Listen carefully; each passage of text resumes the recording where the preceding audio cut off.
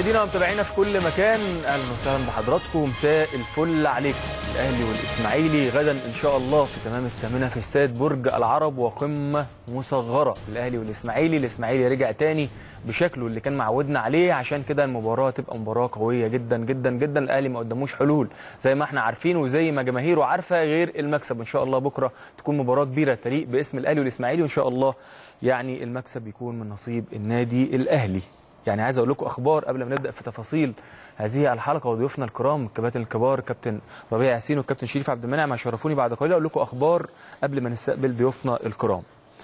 أكيد حضراتكم طبعا قريتوا القائمه وعرفتوا قائمه الأهلي هقولها لكم تاني. الكابتن حسام بدري اختار 22 لاعب محمد الشناوي وأحمد عادل عبد المنعم ومحمد طارق وعبد الله السعيد وحسام عاشور وأحمد فتحي وعمرو السولية وهشام محمد.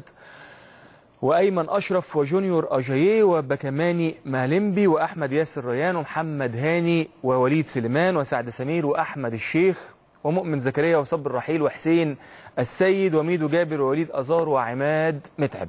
دول ال 22 اللي اختارهم. الكابتن حسام بدري طبعا أربع لعيبة يخرجوا من القائمه عشان يبقوا 18 لعيب. إن شاء الله بكرة هنعرف التشكيلة اللي هي 18 لعيب قبل ما نعرف طبعا تشكيلة اللي تخوض المباراة. أسماء كبيرة ونجوم كبيرة طبعا مع كابتن حسام بدري بيدورها وبيستغلها زي ما هو عايز. يعني المدرب أو المدير الفني بيتمنى وجود عناصر ووجود أسماء زي اللي موجودة في النادي الأهلي وإن شاء الله يكون الأسماء دي أو العناصر دي عناصر مؤثرة بالإيجاب بإذن الله. هنتكلم برضو عن تفاصيل خروج شريف إكرامي وصالح جمعة من هذه القائمة. كابتن سيد عبد الحفيظ بيقول أن الكابتن حسام البدري أو أن الكابتن حسام البدري صاحب الحق في استبعاد أو ضم أي لاعب. كابتن سيد عبد الحفيظ مدير الكرة بالنادي الأهلي قال إن استبعاد شريف إكرامي من قائمة الفريق للمباراة الثانية على التوالي وجهة نظر فنية موضحا أنه من الوارد أن يكون الحارس الدولي موجود في المباريات المقبلة. وأشار عبد الحفيظ أن البدري هو صاحب القرار الأول والأخير في ضم اللاعب أو استبعاده من حساباته الفنية حسب ظروف كل مباراة.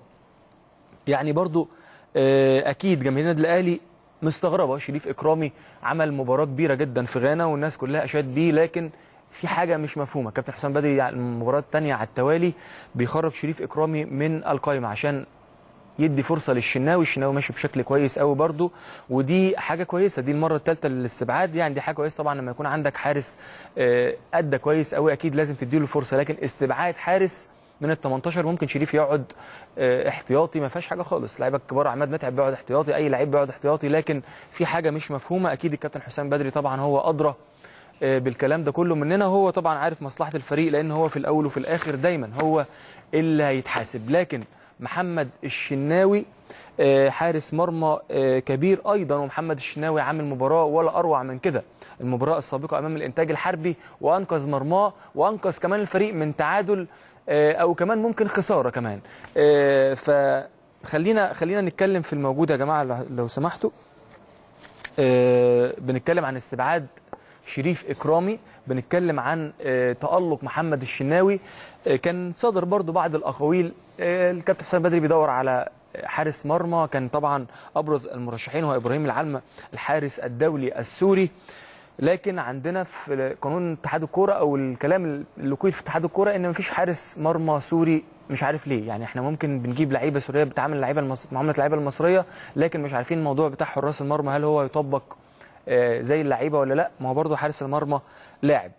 فالموضوع ده كان عقبة. قالوا مثلا من ضمن الترشحات أو من ضمن التكهنات أو التوقعات محمد عواد حارس مرمى النادي الإسماعيلي. وأنتم عارفين الحساسية بين الأهلي والإسماعيلي خصوصا في الانتقالات. وأكيد عارفين إن جماهير النادي الإسماعيلي هيقول لأ عواد وعواد طبعا عمود فقري من أعمدة النادي الإسماعيلي.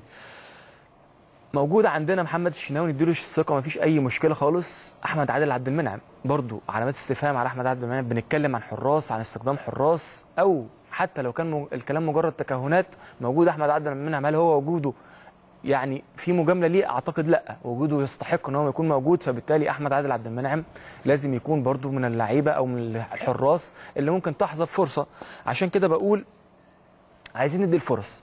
للفرص طبعا مكان مؤثر جدا. شفنا الشناوي تألق والشناوي كان متألق قبل ما يجي النادي الأهلي كان في بتروجيت وكان في منتخب مصر. جه النادي الأهلي طبعا قعدته أثرت عليه طبعا بالسلب. وأنتوا عارفين حراس المرمى لازم الجول يبقى رجله في الملعب على طول عشان يشوف حساسية آه، المرمى لأنه مركز زي ما قلت مركز حساس جدا. محمد الشناوي حارس متميز قوي زي ما قلت لكم بعيد تاني أنقذ النادي الأهلي من تعادل وكاد يكون خسارة كمان أمام الإنتاج الحربي. كورة صعبة جدا شالها من قلب الستة. عندنا حراس كبار حراس كلهم مميزين شريف إكرامي محمد الشناوي وكمان أحمد عادل عبد المنعم. آه، كابتن سيد عبد الحفيظ خلاص رد وقال إن الكابتن حسام بدري ليه الحق الأول والأخير في استبعاد أو ضم أي لاعب للقائمة. نروح لأخبار لعيبة النادي الأهلي. كمان طبعا اتكلموا على صالح جمعة وصالح جمعة برضه عليه علامات استفهام كتيرة جدا. صالح جمعة كل ما نقول خلاص صالح قرب يدخل وقرب وقرب وقرب بيتصاب. بيتصاب ليه مش عارفين. بيتصاب نتيجة إيه؟ برضه مش عارفين. ما ينفعش إن أنا آه، أفضل طول السنة أو معظم الأوقات ما بتمرنش كويس وأجي أشد على نفسي في فترة أكيد العضلات بتاعتي مش هتستحمل. عشان كده يعني بتوقع يكون دي أسباب إصابات صالح جمعة. لكن علامات استفهام كتير برضو أكيد صالح جمعة. يتمناه أي مدرب. لكن الالتزام بيتمناه مد- المدرب أكتر من الحاجة الفنية لأن الالتزام هو بيل- بيلتزم مع اللعيبة وبيدخل في دايرة التزام كاملة. لو اللعيب مش ملتزم واللعيبة شايفة إن هو بيلعب أو ما بيلعبش أكيد الدنيا هتفك شوية. يعني آه، ما ينفعش بالظبط يعني هو ترس في آلة فعلا زي ما فريق الاعداد بيقول لي ترس في آلة فعلا ما ينفعش إن هو يخرج بره هذه الآلة. آه، رامي ربيعة راحة. من تدريبات المستبعدين. عارفين إن رامي ربيعة برضو بيعاني من آه، آلام في الحوض. إحنا قلنا قبل كده آلام الحوض صعبة جدا ربنا يشفيه. شريف إكرامي صالح جمعة باسم علي أحمد حمودي علي معلول رامي ربيعة محمد نجيب كريم ندفد مروان محسن عبد الله الشامي إسلام محارب أكرم توفيق. دول اللعيبة اللي كانوا مستبعدين وخدوا تدريب قوي جدا آه، النهارده. الصبح تدريب غلب عليه الطابع البدني. وبعض تدريبات الكرة. هقول لكم الأسماء تاني عشان تعرفوا إن في فرقة فرقة بره خالص. شريف إكرامي صالح جمعة باسم علي حمودي علي معلول رامي ربيعة محمد نجيب كريم ندفد مروان محسن. نتمنى لك الشفاء. كل الناس بيقولوا إبراهيم إبراهيموفيتش رجع بعد خمس شهور ومروان داخل في سنة. نتمنى الشفاء العاجل طبعا وعودة مروان محسن بسرعة. عبد الله الشامي وإسلام محارب وأكرم توفيق. دول لعيبة فرقة كاملة لعيبة كانوا مميزين جدا في أنديتهم كانوا نجوم في أنديتهم لكن إحنا دايما بنقول الأهلي يا جماعة غير الأهلي مختلف. أنت ممكن تكون نجم في ناديك لكن في الأهلي لازم تحارب بقى تحارب. يعني آه، أنا بتعدى كمان حتة المنافسة بتبقى حرب جوه الملعب ومنافسة شرسة جدا جدا علشان تحظى بلبس قميص اللاعب الأساسي في النادي الأهلي. الأهلي بيتدرب على الملعب الفرعي لبرج العرب. دلوقتي التمرين شغال. أعتقد إن هو بدأ إن هو خلاص أو خلص. آه تمام. هو ساعتين كتير قوي. تمام. آه، خاض الفريق الأول لكرة القدم بالنادي الأهلي. مرانه الأخير استعدادا لمواجهه الإسماعيلي مساء. آه، غد إن شاء الله على ملعب آه، برج العرب. الفريق خاض مران بدني خفيف مع تقسيمة كرة مصغرة. استعدادا للمباراه غدا الاثنين إن شاء الله. طبعا بعثة الفريق وصلت اسكندرية ظهر اليوم لخوض المران قبل الأخير. كمان آه، مران قوي لحراس المرمى. استعدادا للإسماعيلي طارق سليمان مدرب حراس مرمى الفريق الأول لكرة القدم بالنادي الأهلي. خاض مران قوي لحراس المرمى محمد الشناوي وأحمد عادل عبد المنعم ومحمد طارق على الملعب الفرعي لإستاد برج العرب استعدادا لمباراة الغد. حرص سليمان على خضوع الحراس الثلاثه لجرعه مكثفة من التدريبات لمواجهة كافة المواقف خلال المباريات أو المباراة تحديدا مباراة الغد. أكيد طبعا. يعني هو طبعا أكيد طارق ما بيركزش مع اللعيبة قبلها بيوم لكن بيحط بعض النقاط الفنية قبل المباراة اللي ممكن طارق سليمان من المدربين المجتهدين المجتهدين اللي هو بيقرأ الفريق بيشوف مين اللي بيشوط مين اللي بيعمل كروسات مين اللي بيعمل عرضيات. مين اللي ممكن يكمل؟ مين اللي اقرب للجون؟ يعني مين اللي ممكن يتعب الجول بتاعه؟ وبيقعد يتكلم مع الأجوان ومع الحراس إلا التنفيذ. طيب آه نشوف بقى. أنا عايز أقول لكم القرارات دي في الآخر هي خلاص. لا قبل في كمان خبر أهو. آه، شيرين شمس بيبحث مع المرشحين إجراءات تنظيم الانتخابات. عقد اللواء شيرين شمس المدير التنفيذي للنادي الأهلي اجتماعا مع المرشحين لانتخابات النادي المقرر لها يوم 30 نوفمبر الحالي إن شاء الله لبحث الإجراءات الخاصة بتنظيمها. الاجتماع حضروا مندوب من الجهة القضائية المشرفة على الانتخابات بالإضافة إلى مندوب من الجهة الإدارية للاتفاق على كل الإجراءات التنظيمية الخاصة بهذه الانتخابات. شيرين شمس آه، أيضا على نفس السياق بيقول نسعى لتسهيل كافة العقبات على الأعضاء قبل الانتخابات. أكد آه، اللواء شيرين شمس أن مجلس إدارة النادي قام باستئجار كافة الجراجات حول مقر الجزيرة. طبعا هيبقى يوم يعني يوم صعب قوي وقال شمس في تصريحات له اليوم أنه يتوقع حضور 20 ألف عضو.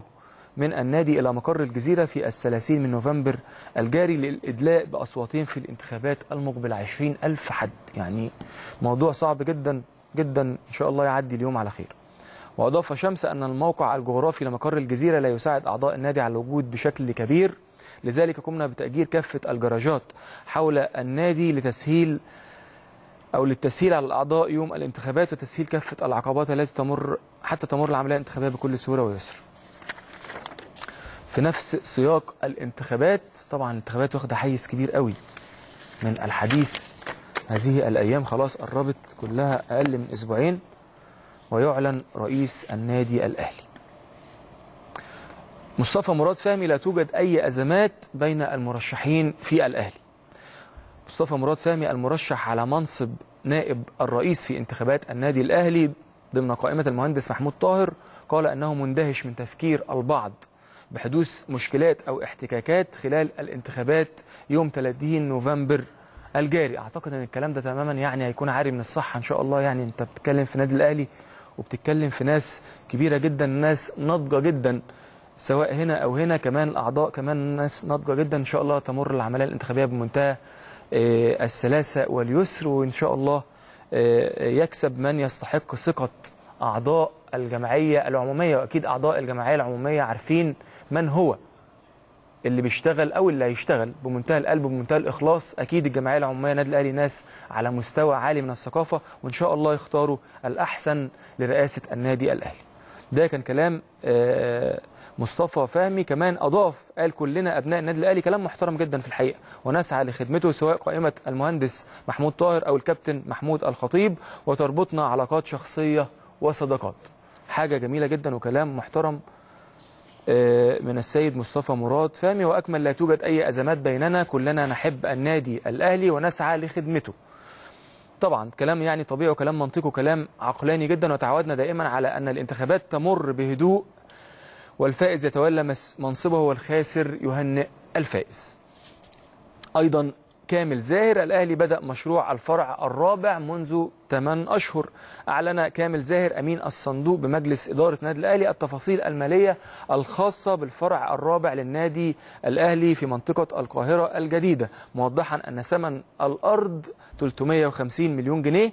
سيتم سداد أقساطها على سبع سنوات بواقع 50 مليون جنيه في العام الواحد. مشروع كبير جدا بيتمناه كل الأهلوية وأكد زاهر أن النادي بدأ المشروع منذ 8 أشهر منذ محاولة التعاقد على قطعة أرض وإنهاء الأوراق وتحديد الموقع الذي يريده المجلس.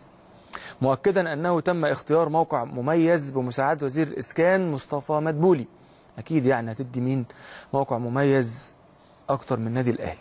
وأضاف زاهر أن المجلس تسلم الموقع منذ أربع أيام فقط. لذلك تم افتتاحه لذا تم افتتاحه وضع حجر الأساس أمس السبت مشيرا إلى أن المرحلة الأولى من الفرع الرابع. ستشمل بناء منشآت قيمتها تتراوح بين ما بين 250 مليون إلى 300 مليون قدام حضراتكم الصور من آه الأمس. يعني مشروع عملاق مشروع كبير قوي.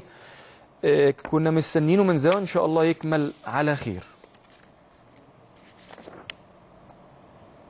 طيب آه نروح على قرارات لجنة المسابقات. أعلنت لجنة المسابقات أو مسابقات القسم الأول بالاتحاد المصري لكرة القدم توقيع غرامة على كل من كابتن أحمد حسام ميدو المدير الفني لوادي دجلة قدرها 5000 جنيه للاعتراض على قرارات الحكم في مباراة فريقه مع مصر المقصة في الأسبوع التاسع للدوري العام. قدام حضراتكم طبعا صور من اعتراضات المدربين. كما قررت اللجنة إيقاف سيد متولي مدير الكرة بنادي وادي دجلة أيضا مباراتين وتغريمه 10000 جنيه. وذلك نزول لنزوله الملعب والاعتراض وتحريض اللاعبين على الانسحاب.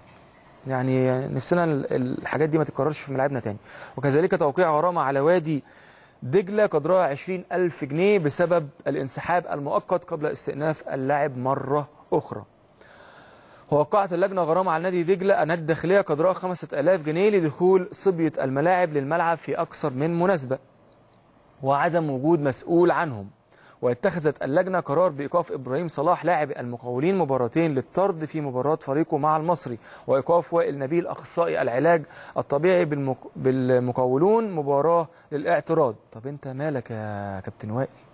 وتقرر إيقاف محمد عودة المدير الفني للمقاولين مباراتين وتغريمة 20000 جنيه للاعتراض والتصريحات المعادية للحكام في وسائل الإعلام أكيد في مباراة الأهلي مباراة المصري والمقاولين اللي كسب فيها المصري 1-0 كما تقرر إيقاف طلعت محرم مدرب المقاولون أربع مباريات للسلوك غير الرياضي تجاه الحكام بعد انتهاء المباراة.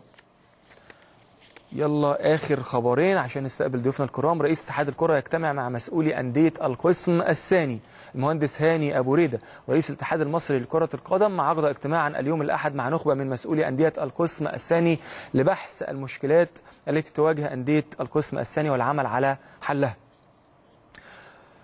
وعقد أو عقد الاجتماع بمقر الاتحاد بالجزيرة بحضور أربع أعضاء من مجلس الإدارة. وهم الكابتن مجدي عبد الغني والمهندس أحمد مجاهد والدكتور كرم كردي والكابتن حازم إمام. طبيب المنتخب الوطني يقضي فترة معايشة في بورمس الإنجليزي. يلا نطلع فاصل علشان نستقبل ضيوفنا الكرام الكباتن الكبار الكابتن ربيع ياسين والكابتن شريف عبد المنعم نجوم مصر ونجوم النادي الأهلي. فاصل واستنونا.